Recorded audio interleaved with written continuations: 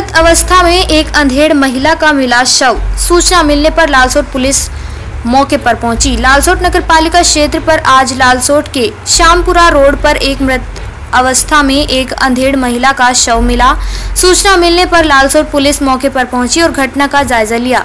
आपको बता दें कि इसी बीच पुलिस ने बताया कि महिला शराब की आदि थी और उसका नाम राधा बताया जा रहा है। मृतक महिला लोगों के अनुसार दिमाग की हालत से थोड़ी कमज़ोर बताई जा रही थी।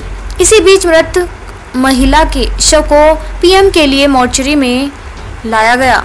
पुलिस जाँच पड़ताल में जुट चुकी है। आगे की कार्रवाई की जा रही है।